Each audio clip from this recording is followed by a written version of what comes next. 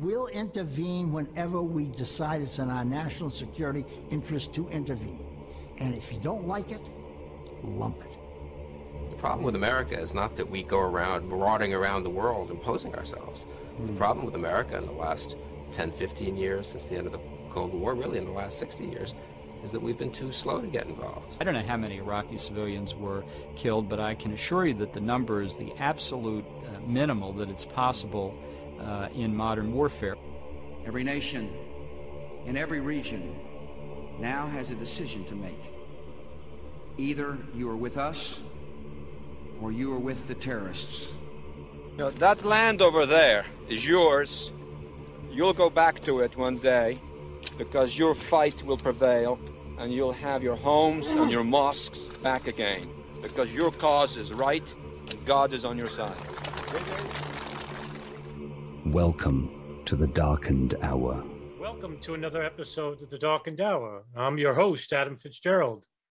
Special guest with me today is my co host for the Darkened Hour, Richard Cox. Richard, hey, this is a new one. Thanks for joining me. Good evening, Adam. Thank you for having me. Yeah, hey, Rich. Well, Richard Cox is obviously my co-host for the Darkened Hour. He has his own website which deals with spirituality, conspiracy theories, anarchism, and geopolitics. He has also authored his first book entitled "Contemplating Conspiracy: Excursions into Undiluted Madness," to which the basis of the interview is surrounding on. And why don't we open up with the first question, Richard? Um, I read the book. It's 80 pages long. I'm going to link that at the bottom of the description uh, in the uh, podcast. Um, but in the very first chapter, you mentioned that you were not experienced with the nature of conspiracy theories initially. Um, was your skeptical nature toward conspiracy theorists based on your misunderstanding of them or a misunderstanding of just how nefarious certain elements of government or was it a combination of both? Well, mostly I was young, okay, and you grow up in a system and you believe what the system has to say. And for me, I think a big part of it was I became increasingly disenfranchised with the educational system as I got older. And I, went into it wide eyed and thinking it's going to be some wonderful experience. And it's all about learning. And, you know, we're, we're, this is the descendancy of Plato's Academy kind of thinking.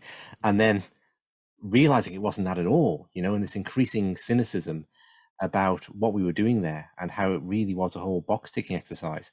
And around that time, George W. Bush, I'm 18 when George W. Bush gets elected president. And that's one of many things that just seemed, struck me as really odd that in a nation of 300 million people, what are the chances that the son of the guy who did the job but one before would be, would, would get it? You know, that, that just seems statistically unlikely unless the Bushes are some sort of politically genius family and they're just a cut above the average American. Um, well, that didn't seem to be the case.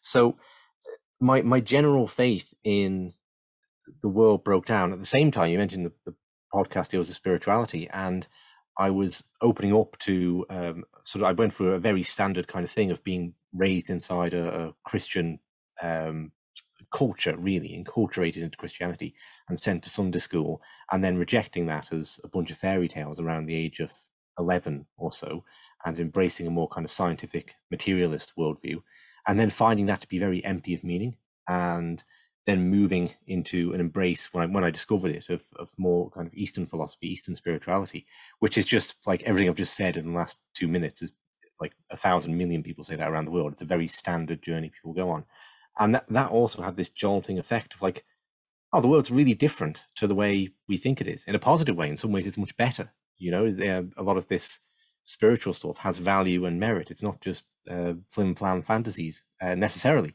And then equally um, discovering that the world is much deeper and darker too in some ways. And that that was my exposure to conspiracy was picking up by David Icke then when I was 18. And um, I, I, suppose my only reticence about conspiracy theories, I assumed they weren't true. Like the ones I'd heard would be Kennedy and the moon landing, and that was kind of it then. People didn't talk about conspiracy theory in the 90s i don't think as much at all as now and i just thought well look if that if some nefarious cabal shot kennedy then that would the us government would come screeching to a halt. You couldn't have another election again until that was all sorted out and the media would be all over it. So clearly this is just some people with fertile imaginations isn't it? And and that that was it. That's all i thought about it. And then being plunged into that world and finding out that a lot of these claims had merit, you know, like the CIA does traffic drugs and that kind of thing. And we do live in imperial constructs. So that that's what really got me wrestling then, because obviously you're on a spectrum then, which is like from the normie kind of side of things to the very extreme fringe kind of side of things. And I, am questioning then, where am I going to end up on this spectrum? What, what is truth here? Can I discern it? I probably probably said enough there for your, your question, Adam, so I'll, I'll turn it back over. Yeah, no, um, uh, I'm interested in this because uh, in, during my young adult years, um, I was imbued with human constructs. Uh, when I talk about human constructs, I'm talking about like politics, racism, religion, all the uh, the human applications, the catchisms, if you will. Um, did you have any uh, um, human influences that made you perceive the reality before you in a in a different light back then than as, as opposed to now? No, not on the political level, really. No, it was more that I found out the world wasn't as it was supposed to be. And then I think it was literally just that David Icke's book was in the spirituality section of the bookshop. And I was looking there, and it's called The Biggest Secret, right? That was his new ish book at the time. oh, what's the biggest secret? Is there something else I don't know about the world? And to me, it was kind of a mental experiment because I just on a an, an A level, like a, a leaving school certificate in history, and we were sat there being given these documents that were apparently from the 17th century, and I'm thinking like, you know, how do we know this happened, right? And I'm sure we do. I'm sure that people at universities have very good reason, but we don't know. Like in this class, we're just handed these documents and told, yeah, this is what happened. So what if you carry on up and like you do an undergraduate degree and, and they don't know and so on? So to me, it was an in- conspiracy theory came across as an interesting intellectual proposition immediately, like uh, a kind of like pluralism, although I wouldn't have had the language for it at the time. Say, well, what there's an alternative worldview to compare it to? Like, can you construct an alternative theory of history? And I think I've, I've always had an innate interest in iconoclastic figures that say, oh, look, we could look at this whole thing completely different, whether it's in um, whether it's in history or science or anything. The uh, like, because how can somebody construct a an ideology that's different from the mainstream and believe in that, given all the pressure that they're going to be under to conform? I think that's always interesting to me. So that that was really how it started, and then um, just finding the level of truth contained within it sort of pulled me in further. Okay, this really has to be taken seriously you you open up the book with a quote from um, uh, Paul Feyerabend. Yeah. Uh, in which you quoted, even our most basic assumptions, our most solid beliefs, and our most conclusive arguments can be changed, improved, or diffused, or shown to be irrelevant by a comparison with what at first looks like undiluted madness. Yes. Is that something that uh, resonated with you at the time, or more so now after uh, writing this book? Well, no, for, I, I actually started studying Feyerabend about 15 years ago, um, and it didn't resonate with me so much up until that point, okay? Because, like a lot of people, I would thought that the way you understand the world is you get the right idea and you just go down that one track and you don't consider flim flammy ideas off to the side, okay? But the undiluted madness thing, I, I ultimately made it the, the subtitle. Um, so, on one level, looking at the title, you might think, oh, okay, conspiracy theories are undiluted madness, and the book is about engaging with them. And that's not quite what I meant. That's a kind of superficial and ultimately untrue level. The undiluted madness is other people's opinions that are different from your own, other people's worldviews. Like when you don't stand and look on the landscape from the same position as another person, what they say appears as undiluted madness because they're looking in a different direction. So the excursion into undiluted madness is an invitation to join the other person in their perspective of the world. And that can be um, an excursion for the, the, normie to say, okay, well, why do these people think the towers are brought down by explosives? What, why do the people have, get involved in this QAnon, QAnon stuff or, or, whatever it is? And to turn and say, okay, I, I can see how a person with a similar starting point to me could go on a different journey and rationally end up there. And equally for the conspiracy theorists to not necessarily reject, you know, all mainstream opinion and all the work of uh, journalists who are a little more uh, centric in their in their views is an invitation for us all to embrace that which we are not. Yeah. Uh, I, I, you know, in the, throughout the book, you you know you took great care to mention your introduction into David Icke. Mm. and how his views toward materialism and conspiracy influenced you. Um, and to, then two months later, 9/11 happened, which led you to question yeah. the narrative. But how how deeply rooted were you in the nature of conspiracy as opposed to conventional uh, mainstream ideas, or were you in a midst of conflict on believing through empiricism and faith? Um, for me, it was all conflict really at that point because I could just taking for example fluoride, right? So we we talked about fluoride in the biology class at school, and you were presented with that there are two sides to that argument. There's people who want fluoride in the water supply because it's good for your teeth, and then there's people that don't because they consider it some sort of civil liberties issue. But it was never suggested, never suggested that the people that don't might actually think it's toxic beyond a certain dose. Okay, so straight away I could see there was a lie told in a lie of admission told in the educational system. Okay, and David Icke saying, "Yeah, fluoride's toxic." Now I don't know if it's toxic initially at that point. I don't really have an opinion on it, but I know I've been lied to, and I know that. Oh, okay, people aren't just opposed to this because of some abstract uh, issue of civil rights. Okay, um, so for me, I just didn't know. But what, what as I stepped into it, some of the outlandish claims they seem to have merit. Okay, and this isn't this isn't 2020. This is 2001, where you can't just go on the internet and easily check these things. I wouldn't have had the resources to anyway.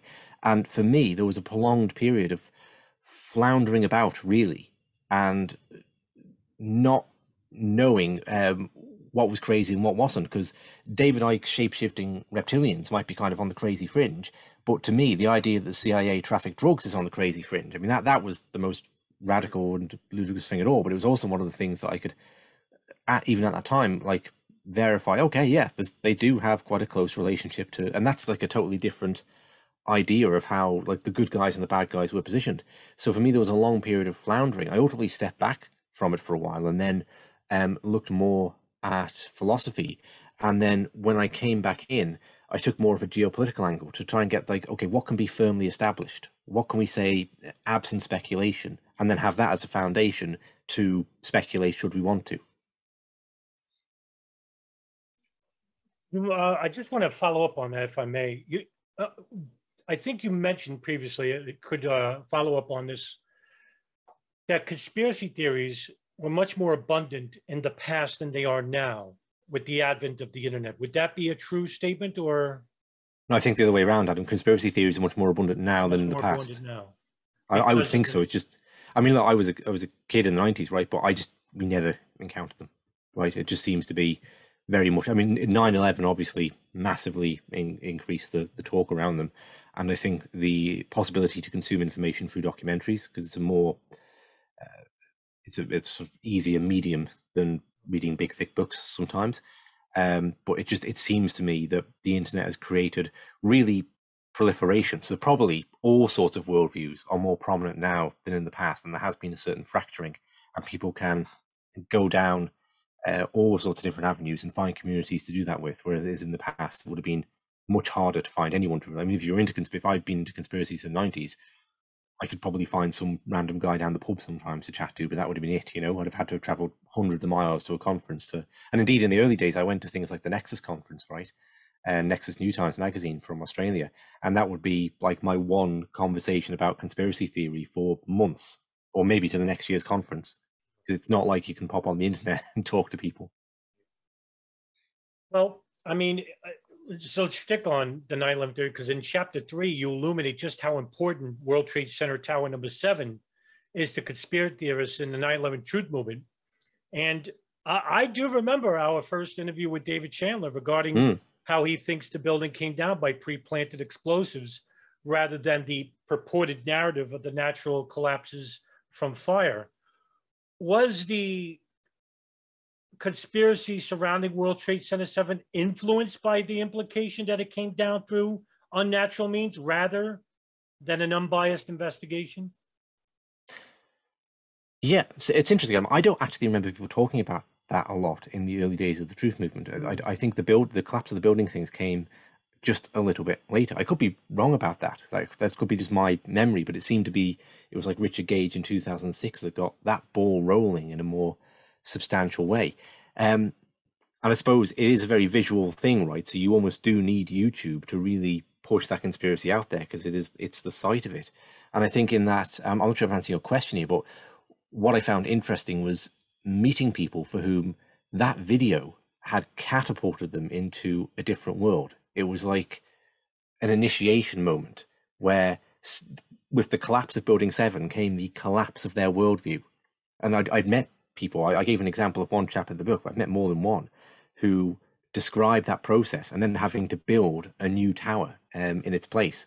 And so that was my uh, with with a whole different worldview arising out of that. I'm sure there'll be elements I'd agree with, elements I disagree with in that. Um, but it's just it's it fascinated me how watching this event and interpreting it a certain way catapults someone into an entirely different reality.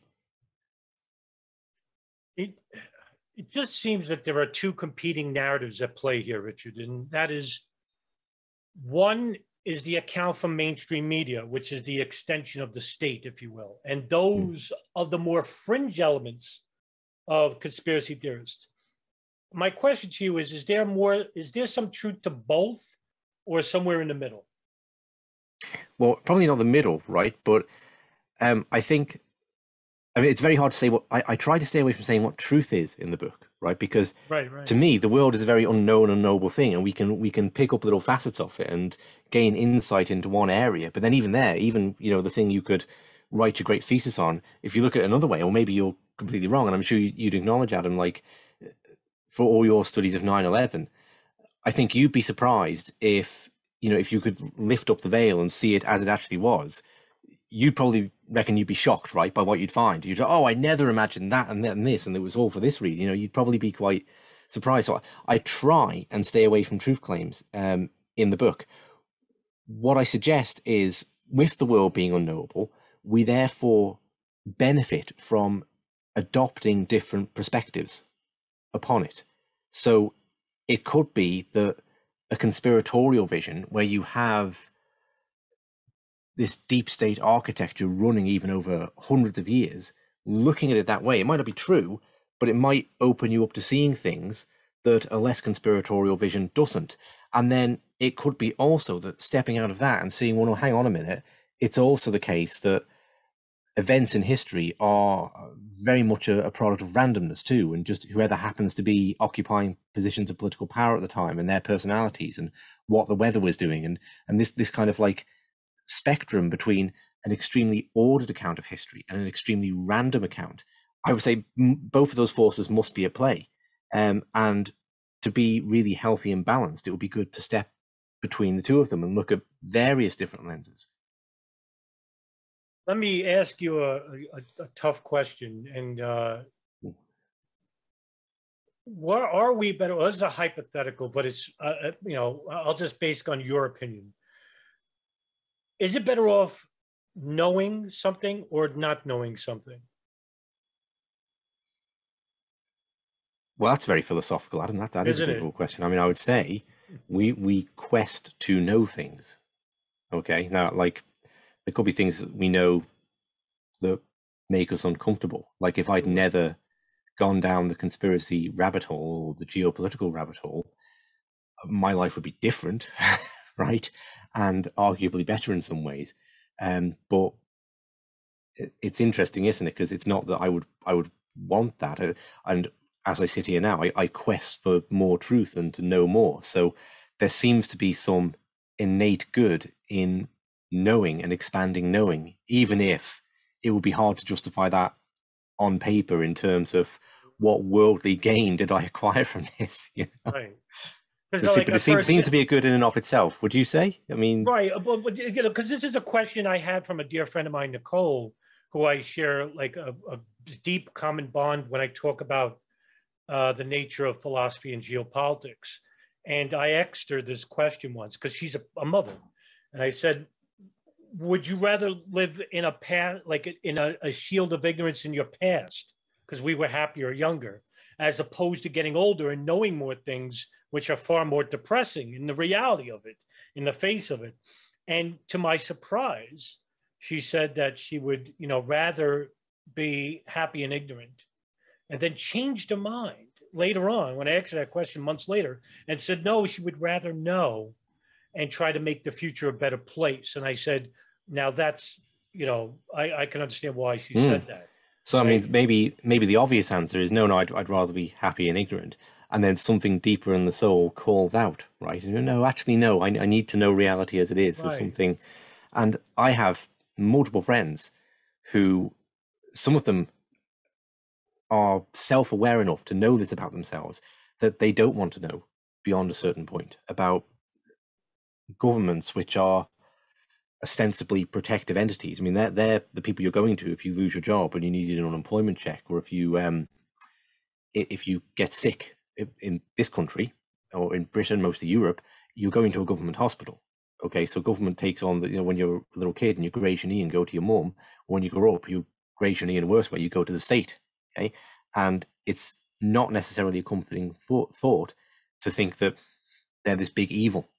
Okay, um, and maybe okay, what they do outside the house. That's one thing. What they do in Iraq or Afghanistan or Yemen. uh, Well, okay, that's it. But you want to think that they really love you in some way if they're going to be providing your welfare and your healthcare.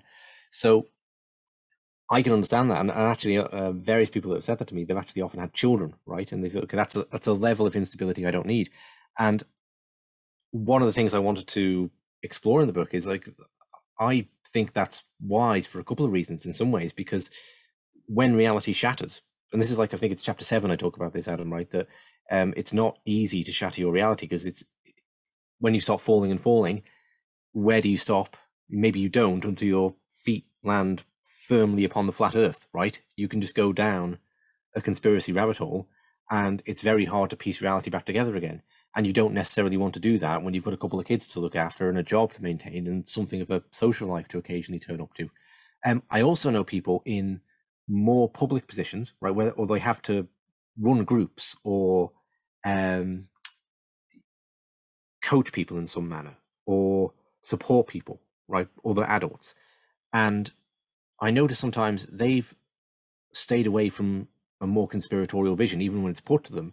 And I do observe that, well, gee, if they adopted this, it would change the nature of what they do. And a lot of people who they are in that supportive role for wouldn't feel comfortable if it was that plus conspiracy theory. Okay, so I do wonder if like there's a, a psychological mechanism. So because I mean I think we've both seen I was a little bit more this is more of a newer perspective for me and, and something that prompted a, a fair bit of the book was seeing up close and personal the destructive well, not, not actually that personal but up, up close at a distance up close at a distance people I would interact with but not close to me um go through a kind of destructive phase of getting into conspiracy theory where it can almost go into a kind of psychosis you know? And that was a new one for me. Mostly i was would be of the of the mindset of people need to like red pill more right? They need to shatter their reality more and uh, expand themselves. But then seeing and even people i would have a lot of ideological disagreement with like mick west okay uh, the what does he do the uh, tales from the rabbit hole is his book and i think down the, yeah book and podcast um and I've, I write about him in the last chapter because I had to come to respect that okay, one positive function he plays, and I think there are various negative functions, but one positive is he does pull people back from that edge, right? And people who are perhaps losing their minds, or have family members losing their minds, staring into the abyss, um, you need that kind of compassionate figure to to pull back and say, just calm it down a bit. Uh, you know, the world Yeah. may not be as crazy as you think. Sure. I want I want to talk about Mick West later. I have a question based Yeah, on okay, that. yeah. Yeah. But going back to the book, you write about the blurring lines of reality and imagination. And the um the example you give is from Philip K. Dick, Hmm. who believed he lived in an alternate version of reality. While you also point out that it very well could be his imagination was so powerful, it was overwhelming his own rationale. Hmm. And so my question is, how much of a difference is there between the metaphorical and the literal when it comes to the human mind? Well, so I think if there's an overarching point to the book, and this, well, I suppose there's several, but one would be to recommend people, and maybe people, not exclusively, but maybe slightly more people in spiritual communities, to take conspiracies or conspiracy theories, theorists seriously, if not literally, because what I saw arising with um, COVID, particularly, okay, and having been in spiritual communities myself, or one in particular, um, I've always known there was a divide there between people who are really conspiratorial and people who are really aren't. Okay, uh, and that fissure just massively expanded during COVID, where there was more kind of hostility, and I'd see people um, wanting to distance themselves from the conspiracy theorists in their midst and write quite dismissive, and I think kind of low quality dismissals. Okay, and yeah, so what I was interested to examine then with with um, what you're putting there, um, I was looking at the way when we push the metaphorical out of something, it comes back in. Okay, so we um what was I saying? Yeah, Philip. So Philip K. Dick was um, a writer. He did, he most famously did Total Recall and uh, The Man in High Castle, which was serialized on Amazon. And I was I was exploring with that the distinct the, the similarity and distinction with um, him and David Icke, right? So why we think David Icke is crazy. So David Icke um, writes this book on reptilians, and they're literal. They're in the world. They're walking around the White House, and he takes the metaphorical world, the symbolic world, and he takes the physical world and he just sticks them together in a way that's very uncomfortable for us. Okay, well, Philip K. Dick uh, sort of does that um, because he will reveal that he believes that his books were based on an actual reality and a reality he has a memory of. But it's a reality that's a little bit distinct. It's on like a different timeline, if you like, to this reality. Um, so that it's a very different reading experience because you can put him safely in the category of fiction. So what I was interested in, even though he's, he's kind of not, what I was interested in is what is the effect of blurring that line when we when we merge the mythic and the, and the physical. Okay, and to me, um, it seems like you can't just say it's bad. Okay, obviously it could be bad if you introduce all sorts of um, kind of crazy notions uh, into your attempt to understand the world and politics, right? But mythology obviously plays a role, and literalism, taking mythology literally take, plays a role. So Philip K. Dick commented that he only kind of remembered that what he was writing from was memory after the publication of the book. And he was aware that, look, if I'd have come out and said all this stuff beforehand, that would have like really changed the way people read it. And for one thing, I think it would have made it more scary, right? if you thought like the events of the man in the high castle, like Nazis taking over America, it's like if you put that thought into, hey, this this really happened, you know, and this this could have happened in an alternative timeline. It did happen. It makes it a bit more ooh chilling. Um, whereas like David Icke, he does blur that line. He said, you know, the reptilians are real. They're they're they're, they're real entities, and that then you can't leave it safely in the world of fiction. The, his work affects you if you take that in and take it in, on any way seriously, in a way that has this more chilling effect and in that sense, I think it prompts greater action from a smaller number of people. Okay, so if you think about like, um, I was very interested in the uh, mythos of Christianity, the idea of Jesus principally being a kind of spiritual initiation myth that got taken literally. And um, a friend of mine, Tim Freke, I've interviewed on this topic, he wrote some books on it. Um, he thinks that's um, you know a really bad thing that happened that it got taken literally, and it, I suppose he's echoing Joseph Campbell there in saying like a, a myth dies, it loses all its spiritual um, potential uh, when it gets taken as as history. Okay, and I wanted to put another side to that and say, well, clearly not, right? Because Christianity has two billion adherents and it's been around for two thousand years. So where's the problem here, right? It's like it's obviously there's something very powerful in taking your myth literally, and I'm not saying, and therefore we should do this, but we should be aware of that. We should be aware that David Icke, um, for all his reptilians, um, even if they're not, even if he's not describing history accurately, um, he's doing something. It's having an effect on the hundreds of thousands, maybe millions of people that have come into that, um, come into contact with his work in a way that a John Pilger book wouldn't, and in a way that David Icke's work wouldn't if he put this is a work of fiction at the front. And it had that effect on me. It, it shattered my reality, right? So that's you. You need something big and powerful and kind of crazy to do that. And I think, Adam, if you talk to a lot of people who, like yourself, maybe are very cynical about conspiracy theory and they're doing what they attempt to be very erudite in their geopolitical research, a lot of them, if you ask, how did you get into this then? A lot of them have a crazy story, right? A lot of them like think that uh, they got into it through um, Judy Wood's energy. I think it's your one, isn't it? Judy Wood's energy beams. They saw that crazy idea. What yeah. is this about? And then at some later point, they look back with a little bit of embarrassment on that. They don't, don't necessarily want to say, "Oh yeah, I, I, got into it because you know I thought the reptiles were real," or you know. Yeah. But it's often like um, initiations are often kind of crazy, and that goes to spirituality too. I notice you you speak to people in spiritual groups, and um, they can be doing something you know quite serious, quite arduous, like zazen meditation. You've got to sit with a straight back for an hour a day in the morning, well, however long a day, and um, you know it's all about consciousness, and they read kind of erudite papers on the the materialism idealism debate. But like, how did you get into this then? And it's like it's often something involving like they were talking to the fairies at the bottom of the garden. And they don't really want to say that now but it's often like a crazy thing. So i thought oh that's an interesting parallel. So that that was my point really. We have to be aware of the the mythic dimension is powerful in the human psyche and it comes into geopolitics and if you don't acknowledge that you end up just going to crazy town because if you exclude it, it it ends up you know coming in in a way that's maybe not ideal so that, that that's what it's going for there. Sure. Well, you just answered my next question, by the oh, way, right. uh, because I was just going to talk about the um, because it was my interest uh, initially before 9 was monotheism specifically, and there was a point where you raised a book about how the Abrahamic faiths have lost the essence of spirituality by way of literal interpretation. And I was going to ask for your uh, a, a, fuller explanation of it.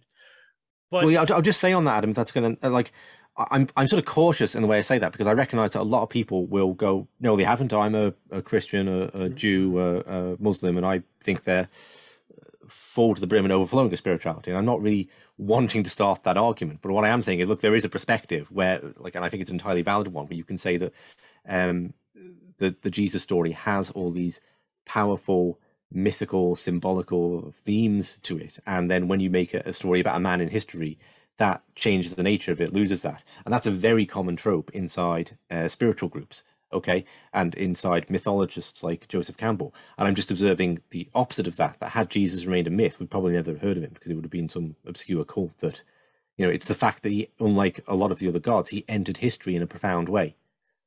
And that gives it a sense of reality that people, if you ever notice how how important it is to um, Christians a lot of them that Jesus was historical. And you think like, why would that be right? Because like people when they discover that Sesame Street isn't real, they don't think mathematics is rubbish because like, oh, but I saw the number nine on TV, so you're telling me that's not the number nine? Well, no, because like, look, maths exists in some sort of abstract realm, okay, and it's like more powerful and more real than the physical stuff we're touching. In some ways, if you look at it that way, so to say it's like not historical or or the, the, number nine isn't really a character that appears on Sesame Street doesn't mean math isn't real. And in the same way to say that like um, the Jesus uh, Jesus wasn't if he wasn't it wasn't an historical character, it doesn't mean that Jesus isn't quote unquote real in some sense. Okay, but we very much equate reality with the stuff you can touch, with history. And that takes on a, sorry, just a noise in the background. Uh, that takes on a power then okay? Like um and that's what i'm saying about david icke that in in making the reptilians real his work takes on all this power that it wouldn't otherwise have. It, it, it, that chapter really was when you talked about that resonated with me because I, I came from that background. And just to give you a short you know summary about where i came from in those early years in 2003 and 4 was that i was an atheist but then i, I gravitated toward the what what's there they were labeled the new age atheists like christopher hitchens and sam harris mm. daniel dennett richard dawkins. And so i became a fervent anti-theist. And i became uh, very uh, abusive toward people of all faiths because i generalized them as being all the same. Uh, you know they're all crazy thinking believing different things.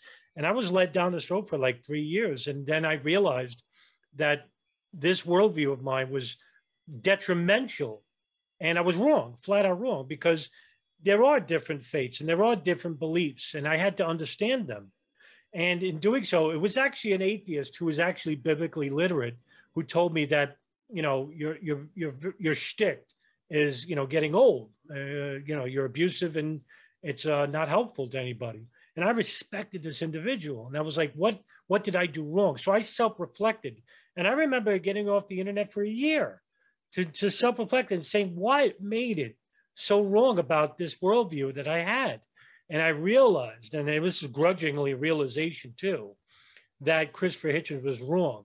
and I really respected him. And not only was he wrong on the uh, religious sense, in that I'm still an atheist. I, he, I don't think he's always wrong, but his generalizations and debates toward low hanging fruit, you know, Mm. people who take the Bible literally, where he would never debate a spiritualist, a real theologian. But it also led me to believe that his views on the real world, because he became a neocon after 9 11, were also wrong. So, in the end, it changed me and changed my life for the better because here I am. Now I had to really study about what I was railing against and what I believed.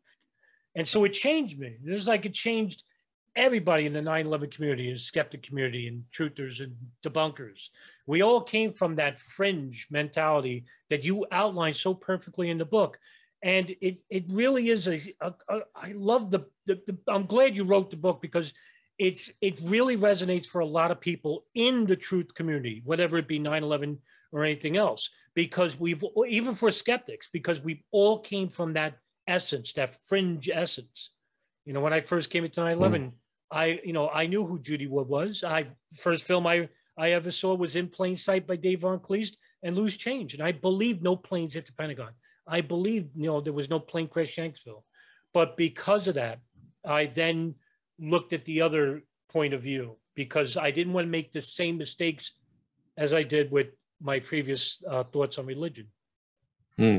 So in religion, you have this concept of an initiatory myth. Okay, that's at least the, the people at the more esoteric end of the spectrum would see the more literal religion, the kind of religion that Hitchens and Dawkins criticizes as, oh yeah, they they take they are making the same mistake as the fundamentalist religious types. They they're thinking that the initiatory myth is the entirety of it. Okay, and what's interesting to me about that period, because I, I kind of hated that whole new atheist period, because I was into a kind of symbolist um, interpretation, understanding of religion. So I, my friend of mine gave me Richard Dawkins' um, book with the kind of here that will sort you out kind of thing. And I said, oh, this guy is simplifying everything, and he doesn't understand what he doesn't understand. Um, but what's interesting about that period is there were all these predictions. I remember, like going back to the eighties, uh, John Shelby Spong, the the the priest, wrote a book um, on Christianity, saying, "Look, this whole kind of very literal." Taking the bible literally christianity that's all going to fall away. That's not going to be around 20 30 years from now. And it's going to be a more kind of secular christianity uh, based on more kind of humanitarian principles that survives. Completely wrong. Completely wrong. What grew during the period was exactly the kind of religion that dawkins and hitchens railed against. It was the extreme literal version. And i think that speaks to the power of myth and the necessity of having myth in in our lives. And i think that recently you've, you've got figures like jordan peterson uh, talking about uh, sort of remythologized the intellectual landscape and has, has reasserted look there is an importance to myth. Whatever you make of it the underpinnings of it there is an importance to it. Um, and that was in the book the the message to conspiracy uh, sorry the message to people who do the kind of geopolitical analysis which they feel that conspiracy theory detracts from which i don't doubt it does right? And i talk about how conspiracy theory is weaponized to protect the state okay? To um, whenever like Fox News or MSNBC wants to cover 9/11, they'll get someone on from the very extreme fringe. So they're using a conspiracy to say, "Oh, look, people who question the state's narrative, wackos," you know, and, and it keeps everyone in the box. So, conspir- like, I don't doubt they have a negative impact, but my my point is they're not going away, okay? Because if you like, nobody nobody's first book on 9/11 is Peter Dale Scott's The Road to 9/11, okay? Unless you're an extremely unusual person, okay? Um, you're not you're not reading uh, Kevin Fenton's Disconnecting the Dots as your first book, unless you're already like so involved in this world anyway that you know you're not really an outsider. You're just an outsider to one aspect of it. Um, you you're going to start with something that's a bit more big and flamboyant, and there's no point in railing against that. There's no point in like waving a fist in the air saying, "Oh, if all, only all these conspiracy people will go away, everyone would, you know, read my 500 page book with 10,000 footnotes." They wouldn't. They couldn't you know? Um so the question i leave then is well what do you do about that? Okay you've, you've there's got to be some kind of if you think that people should be moving to this more, what you consider a more erudite understanding there's got to be some kind of conveyor belt to pick those people up and not just go in with a sledgehammer and start smashing their illusions. Because look we've seen it in religion. How effective is that? It, it just isn't okay? So there has to be some way to move people along that spectrum then um, and that's what you've got to work on, not like smashing these conspiracies because they're, they're not going anywhere for for a good while. Yeah, because I think people tend to gravitate toward more of the imagination and mythology than they do with the reality. Uh, is, by the way, is George W. Bush a shape shifting reptilian, or is delusion where reptilians could possibly exist only? Is George Bush a shape shifting reptilian? So that's a chapter chapter heading. That's okay? right. That's right. And what I do is break out of the binary of saying, well, you could say, you could say yes, he is, or you could say and go down the David Icke road, or you could say no, he isn't, and that's that's kind of crazy. But you could also say as compared to what, right? Because that's right. like a lot of people have a lot of ideas of who George W. Bush is. We're talking like millions of people were in a very cultish movement around making him president, yeah.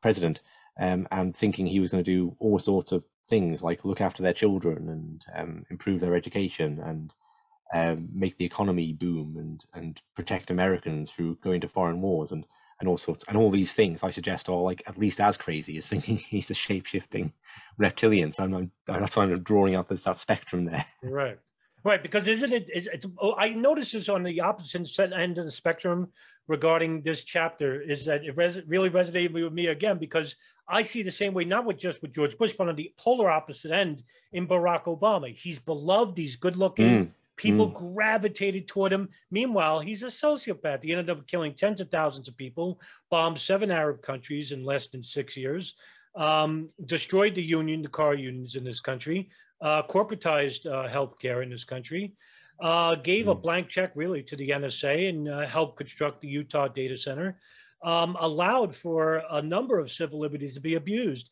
and arrested the most whistleblowers in U.S. history. Yet mm. this man is reviled, uh, you know, uh, uh adorned by millions of people in the light of all this.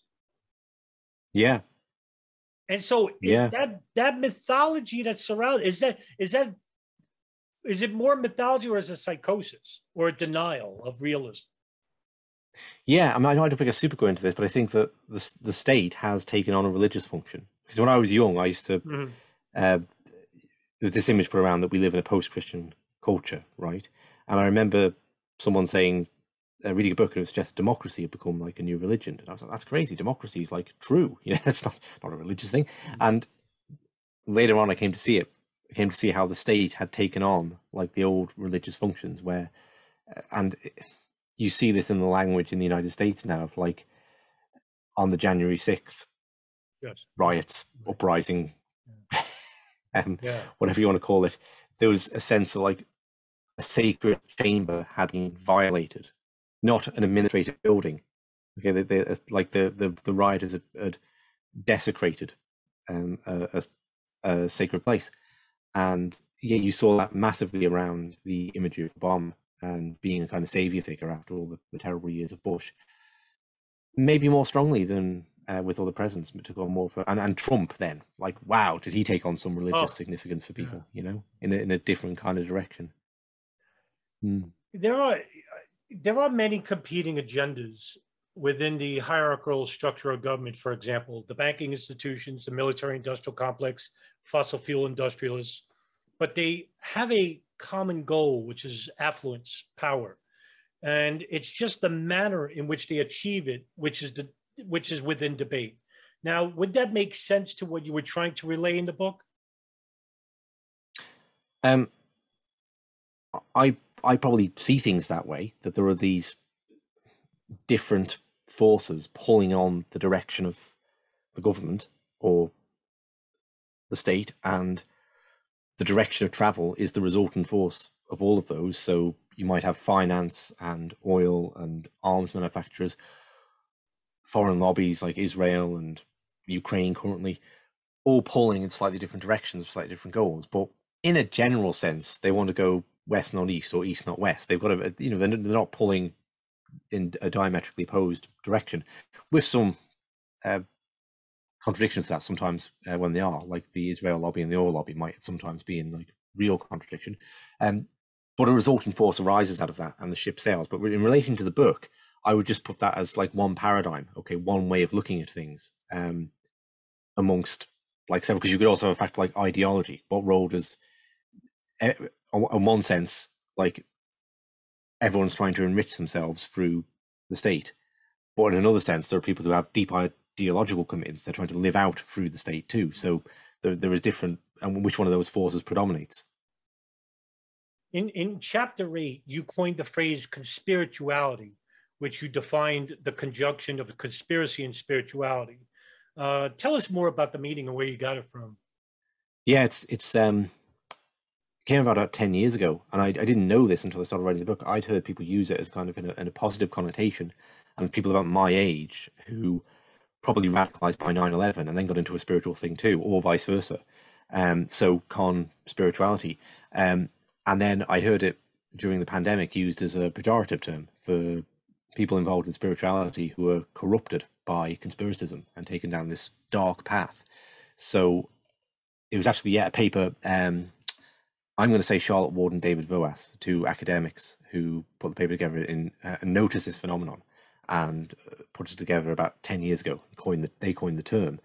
Um, so, yeah, I was just interested, as I've probably addressed this a bit already, just exploring the, the parallels that exist between spirituality and conspiracy theory, it, but almost like they're a mirror image, right? So they're the opposite of each other, but a mirrored opposite.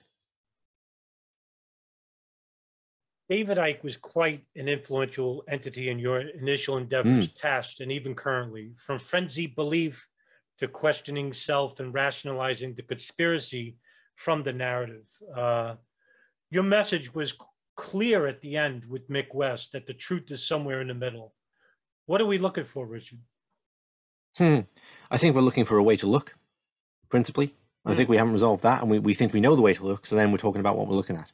And what I want us to do is take a step back and say, well, how are we looking at this? Because I, I, had a quote from Mick West where he said, look, the truth isn't in the middle. Like Building 7 either was or wasn't mm. brought down by controlled demolition. There's no, in the middle, it's like nice, fluffy thing to say, but it's not real.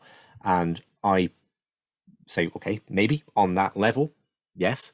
But if you step back from the level of individual incidents to the level of people, then the truth is in the middle because someone who holds the, um, like David Chandler, for example, our, our friend, um, he's a, a big more than well, more than a believer. He's he's convinced from his uh, knowledge of physics that Building Seven came down. Let's, for argument's sake, say he's wrong. Okay, David Chandler still from holding that worldview, um, I would say has a really in-depth knowledge of a lot of the America's geopolitical history. Okay, so compared to somebody who's um, then right about Building Seven, I'm just giving a theoretical right, uh, but doesn't know that. Where, where's the truth? Well, it's clearly somewhere in the middle, right? So on the level of people, truth doesn't reside in a particular person. It is, I would suggest, somewhere in the middle. And, and with that in mind, we can start to have a, a more productive dialogue. But even even the wing wingnut at the end of the spectrum who thinks the world's flat, and the wing wingnut at the other end of the spectrum who thinks that Rachel Maddow was worth listening to, um, all of these people have some level of truth, right, or some level well, of value. Well, some level, right, at some level of value, and uh, well, Richard, what what are your what are you working on now currently?